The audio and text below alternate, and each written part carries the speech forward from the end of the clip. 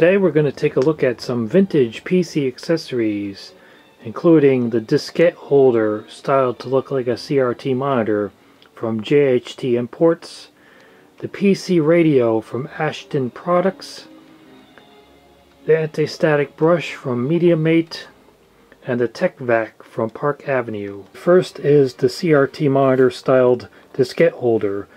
I think I paid a dollar for this. Easy to operate, push to access, push to store, unique disk storage system with spring-loaded access. Holds up to 15 3.5 inch diskettes, swivels on pedestal because it's made to look like a CRT monitor. Brand new in the packaging, distributed by JHT Imports, Minneapolis, Minnesota, made in China. So, here we go, brand new in the package. And there's your diskette holder. Inside is the tilt swivel base. So uh, just set it up here.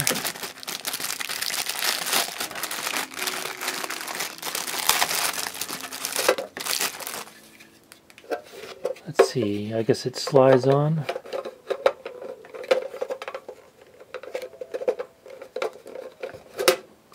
Quality of the moldings is not that great. There we go. Almost looks like it has like a, a disk drive or something in there. Looks a little bit more just than just like a monitor. But there you go. There's your uh, diskette holder. Open it up. I don't know how convenient this is going to be because, well, there's your spring loading, but you can't really see the titles of your discs, and the door gets in the way too. I assume I'm putting these in the right way. So, I mean, yeah, it looks like a monitor. It's kind of neat like that, but you can't really tell what your discs are that you're putting in was he just memorized their location and maybe according to the color of the disc.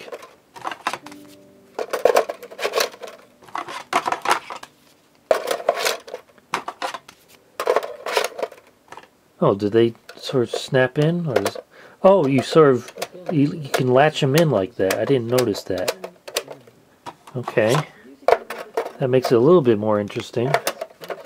I don't know, can you put them in backwards? I don't see that why that wouldn't work. Yeah, either way works. So, kind of a neat novelty.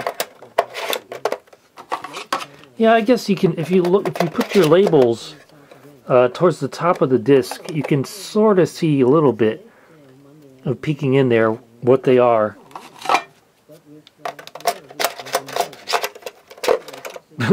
but they tend to just pop out on their own because of the flimsy plastic. So there's your diskette holder peeking through the cover. You can kind of see that it's not really a monitor, but it does tilt and swivel. On the bottom it says made in China and it has some registration number there. But these are actual rubber feet. So it looks pretty high quality.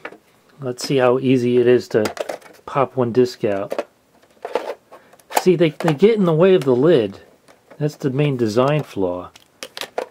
I mean, yeah, they kind of spring load out, but then it's kind of clumsy to get it out because it, it gets stuck on the lid. So, interesting novelty item from, I guess, the 90s. Next is the PC radio from Ashton Products. Beyond this sticker residue it says FM reception, adjustable volume control, auto scan function, and battery powered. Obviously styled to look like a desktop computer from the 90s. This miniature replica of a desktop personal computer is actually an FM radio, or it says a FM radio. Tune or scan to your favorite stations by simply pressing the mouse Adjustable volume control for enjoyable listening, powered by three AA batteries not included. It has a one year limited warranty. Made in China. I like how they actually put the vents in the back of the monitor. And so that's about it. Let's dig into the packaging here.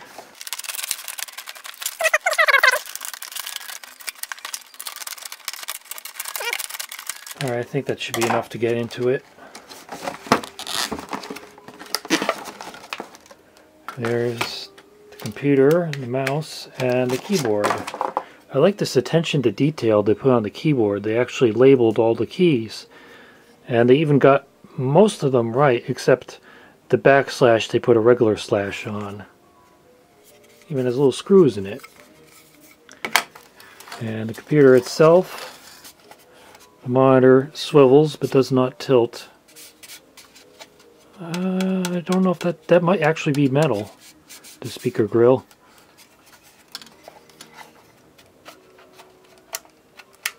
There's the volume control. So uh, that's actually a pretty nice uh, little model of a desktop computer. Just these look more like slimline five and a quarter inch drive than three and a half inch drives because the the aspect ratio is not quite correct. Then there's the mouse with the scan and reset buttons for the radio. A little bit of yellowing there. That's the only place I can see the yellowing. And even has a little external antenna. And the keyboard just slides in the front like that. And, oh, instruction manual.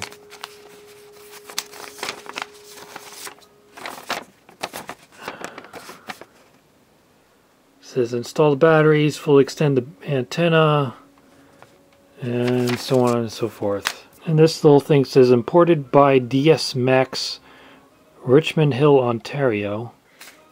It's supposed to run on uh, AA batteries the bottom it says PC Autoscan FM radio, made in China, supposedly com complies with FCC rules. Here's where the batteries go.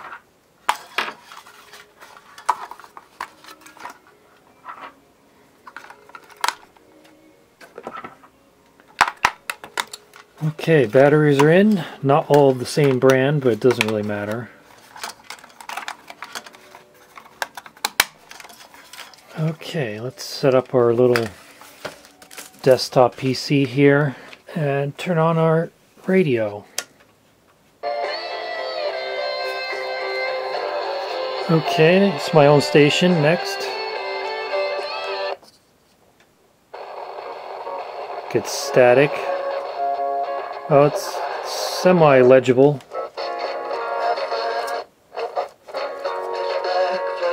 Okay, maybe I really need to extend that antenna fully.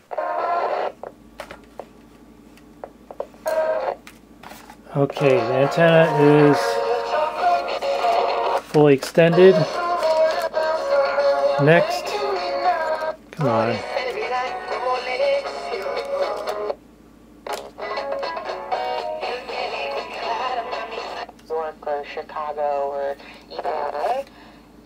Like a Dallas or an Atlanta where people are making I think that's WNYC. More driving and that necessarily means more emissions.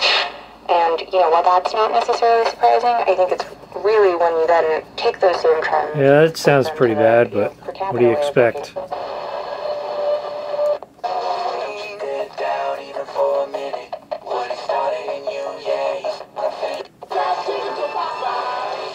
Esta es presentada a ustedes por Emblem Health.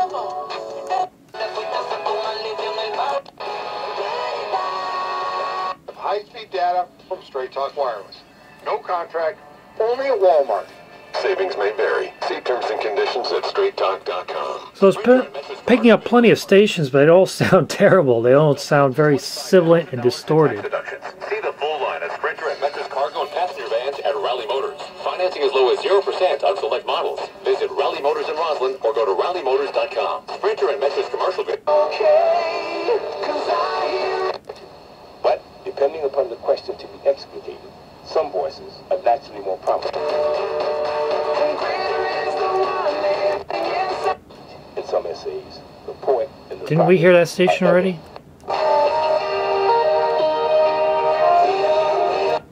To visit pockets of heavy, steady rain, possible lightning and thunder out there. There could be a shower. Okay.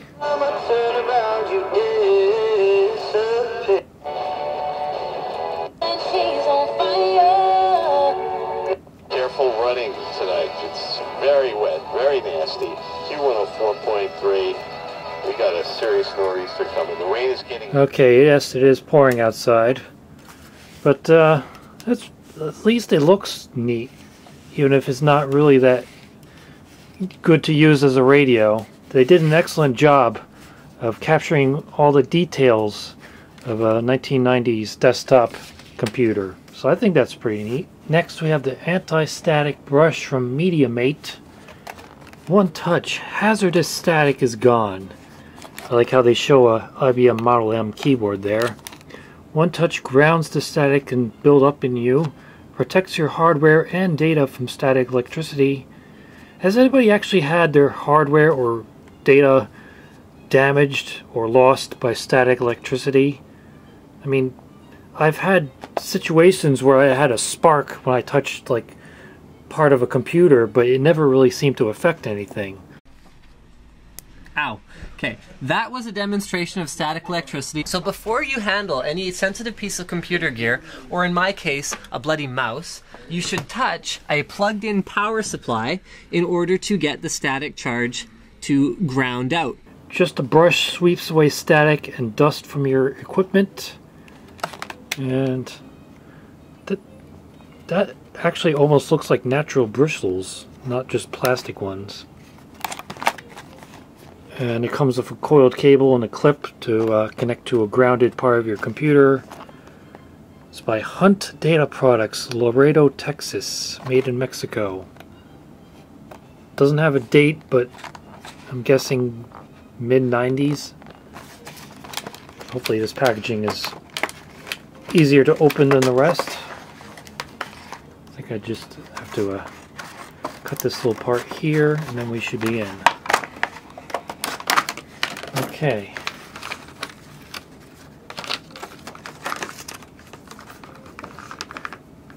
Yeah, I don't know that these feel like natural natural bristles to me. But I don't know how just grabbing this is going to dissipate the static unless you grab. I mean, there's a little bit of metal there, but this is plastic. And I think that's just a sticker. That's not like a metal plate on there.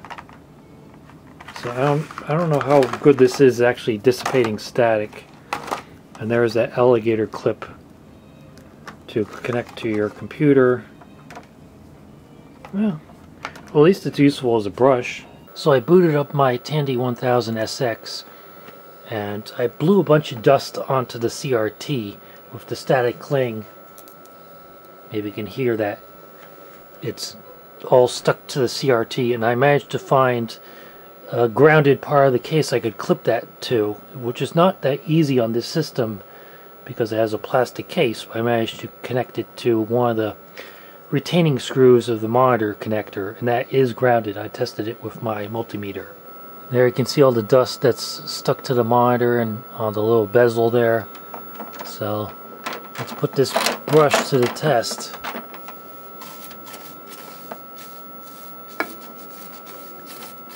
I mean it's it's working but I don't know if it is necessarily working any better than a regular brush would. Got rid of the dust but regular brush would have done that just fine too. Oh, no more static cling. So I guess that did help. So I guess it works as advertised. Just this cord, this cable's a little bit too short and I guess it would stretch out after time, but uh, I don't know. I guess this one is okay. Finally, we have the Tech Vac from Park Avenue. Another very 90s PC and keyboard in the photo there. And they show all the accessories that come with it. Cleans places regular vacuums can't reach. Ideal for removing dust from computer keyboards, typewriters, fax machines, cameras, and more. Reusable dust bag. High-tech styling, two AA batteries not included. I do not have high hopes for this because any kind of vacuum, first of all, that runs on two AA batteries is not going to be very powerful. And these keyboard type vacuums generally don't work well or at all sometimes. Says made in Taiwan, 1994, E&B Giftware, Mount Vernon, New York. Design patent pending. Let's get it out. There's the little manual. Okay. There's some dust in this bag here we can uh, try to vacuum up. I don't know, is this just for carrying it, or is that the bag the dust goes into? Oh, I guess this is the, the dust bag. So, uh, okay. Let's put in those AA batteries.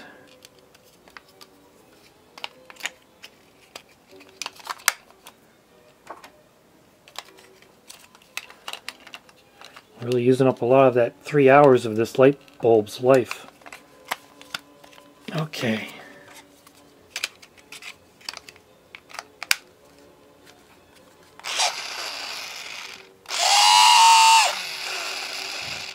that doesn't sound good. I don't think I have it assembled all the way though. Yeah, you're supposed to put this uh, doohickey in there. What is that? Just sort of stuff inside this little uh, handle.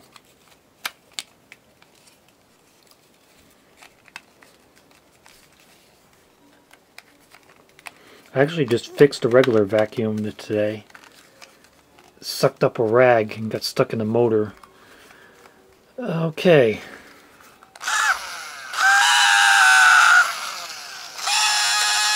Yeah, that doesn't sound good. And I'm not feeling any suction. Maybe just the tiniest bit. If you push too hard on the button, it squeals.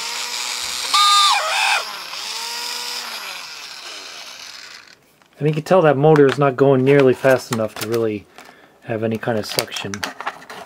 Maybe we can at least brush the dust around with this little attachment.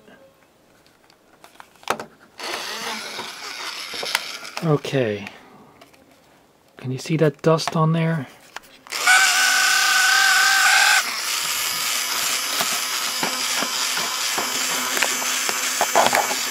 I don't know if that's the brush doing all that or just if the vacuum is actually doing anything.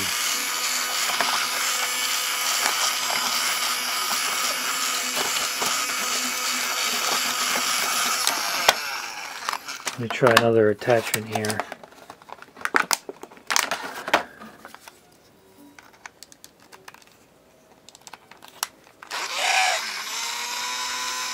Yeah, that has a little bit of suction, but not much.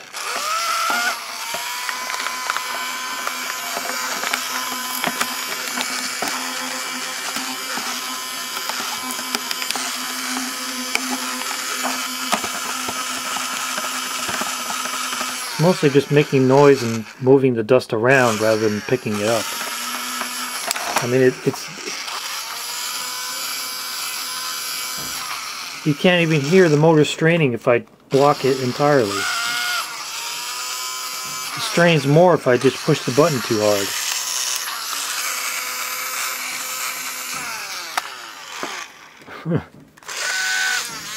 there you can see the motor.